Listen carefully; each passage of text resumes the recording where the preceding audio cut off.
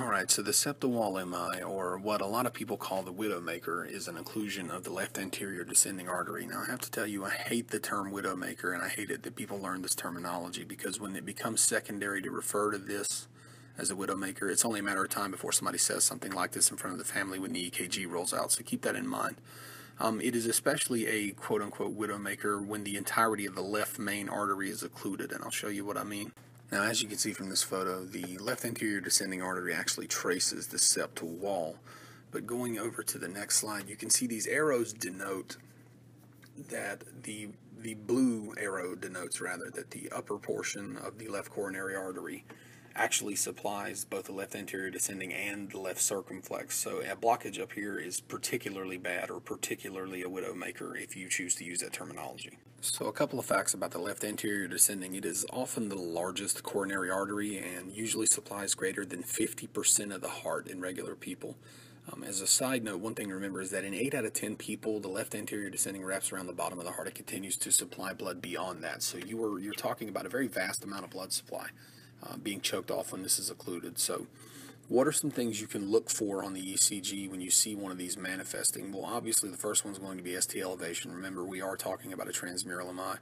The second will be conduction problems, particularly those who function on the AV node and the bundle branches. So AV blocks, uh, especially ones that, that manifest and change in front of you, are quite common.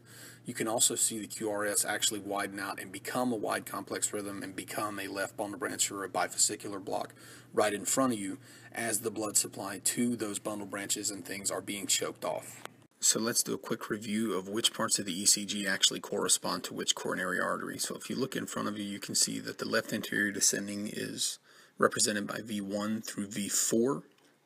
And also take note that uh, often enough when you see elevation in 1 and AVL, this is what we call a high lateral. This is indicative of a left circumflex occlusion, but it also could indicate a left main arterial occlusion so if we look at this ECG, we can see uh, elevation in V2, V3, V4, and V5. This is indicative of uh, septal STEMI with some uh, lateral wall involvement here. So here is where we would expect to see some of those conduction changes and things of, things of those nature. Uh, also take account of the ST segment change in V1 that looks like it's about to happen. So there's some elevation that's either going on here or getting ready to go.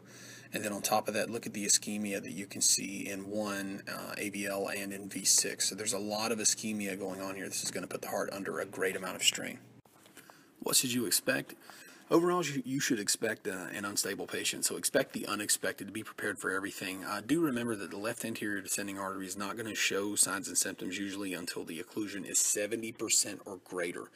So your vasodilators and things like that, your your nitroglycerin and, and what other things your local protocols allow um, are very important to trying to sneak a little bit of blood past this occlusion if that is at all possible when you see patients like this, make sure you have the defib pads on them because when things go south on these, it can happen very quickly. Make sure you have your IV line started and run serial ECGs. If you're not running an ECG every five minutes on a STEMI, you're doing it wrong. You need to be running it every couple of minutes. Blood clots grow very quickly. Overall, stay on your toes and be ready and alert the cath lab. And you should be able to handle these patients um, with as good of an outcome as they can possibly have as long as you're prepared.